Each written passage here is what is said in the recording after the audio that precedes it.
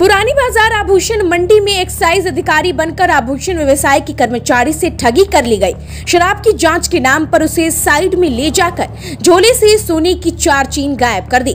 व्यवसाय के कर्मचारी पुरुषोत्तमपुर निवासी अजय कुमार सिंह को जब तक भनक लगती, दोनों शातिर मंडी से फरार हो गए। सूचना पर एसपी नगर अवधेश दीक्षित व नगर थानेदार विजय कुमार सिंह मौके पर पहुँचे।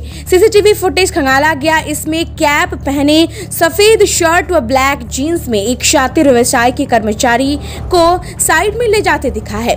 ठगी का शिकार अजय सिंह शहर की बड़ी आभूषण दुकान का स्टाफ है। पुलिस को बताया कि दीपक मार्केट स्थित होलसेलर के यहाँ से ग्राहक को दिखाने के लिए सोने की 10 अलग अलग डिज़ाइन की चेन दुकान में लाई गई थी।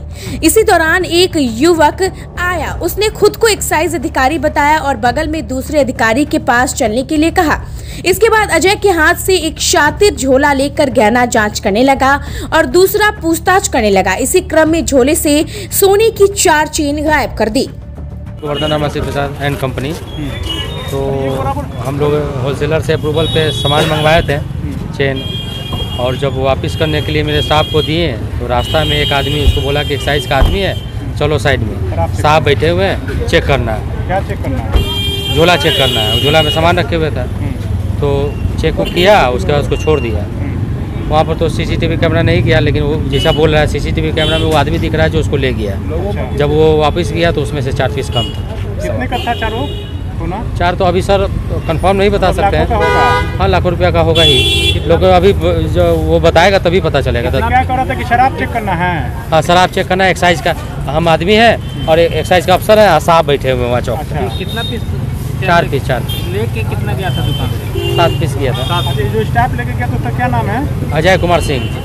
कितने दिन से काम कर रहा है आपके? तीस साल से काम कर रहा था अच्छा पहले भी ऐसा हुआ है कभी? ना पहले आज तक ऐसा कभी घटना नहीं घटा अच्छा उसमें कितना चैन था? सात पीस था। तीस साल से काम कर रहा है? हाँ तीस साल से काम कर रहा आप स्टाफ विश्वसनीय है आपका? हाँ सर तीस साल से काम कर रहा है कितना बार किए रहने वाला है? हैं? सर? तो पुरुषोत्तमपुर का रहने वाला है। अपना नाम बता दीजिए मनीष कुमार। आज शाम को छः बजे के आसपास सोनार पट्टी में गोवर्धन रामन कंपनी ज्वेलर्स की एक शॉप है। यहाँ से इनका ये एक कर्मचारी था जो छः या सात के आसपास सोने की चेन लेकर के और बगल की एक दुकान पे लेके जा रहा था।